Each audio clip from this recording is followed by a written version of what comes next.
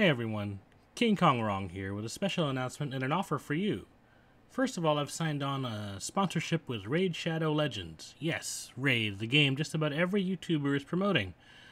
The difference is that most of those ads are for Raid's mobile version, whereas I'm promoting the PC version. So stick around while I give you my overview of my first couple days playing the game.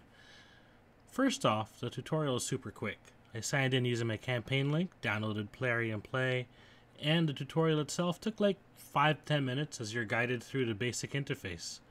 Before I knew it though, I was thrown right into the campaign. But before going deep into the campaign, I was reminded to go into my rewards box where I found the starter rewards that come with using my link, which we'll come back to in a bit. I immediately got rewarded the Jotun Epic Champion, lots of silver, gems, and plenty of energy. Uh, Jotun's an HP champion, so I figure I'll use him as a tank, while Kael, my starter, will do the DPS work. So I ran through a bit of the campaign with Kael, Jotun, and some other champs I picked up from the summoning portal.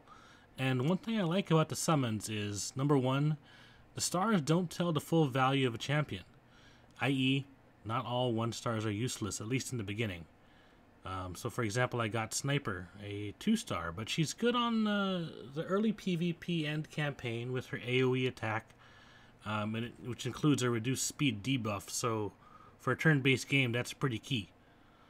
Later on, you know, I'll, I'll probably replace her, but early going, she's pretty good. Uh, I also got a Death Hound, which is a one star, but according to some uh, websites I've seen, he's it's actually a S tier champ. Why? Because it's excellent in a particular dungeon. So it's a specialist, which is fine. I like building specialist squads. I like tooling around with team building. I mean, it's no fun having one team for everything. I mean, some of the one and two stars can be leveled up and fused to create other champions, which is the second thing I like about uh, the summoning system here.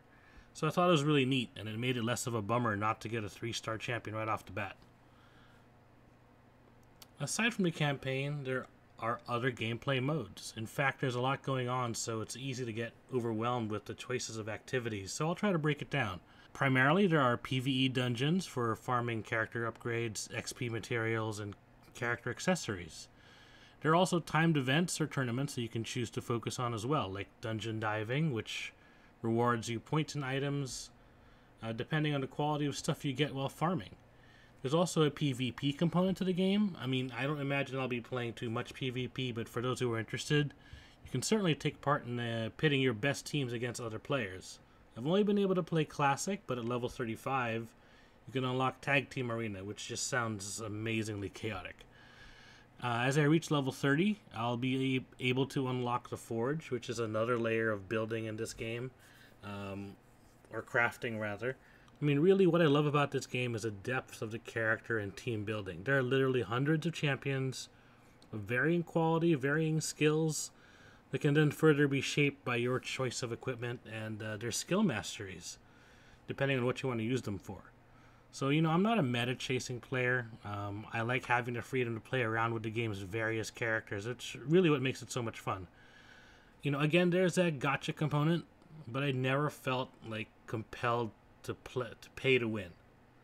I feel like for the PvPers, uh, it's very competitive, so I feel like their opinion might be different.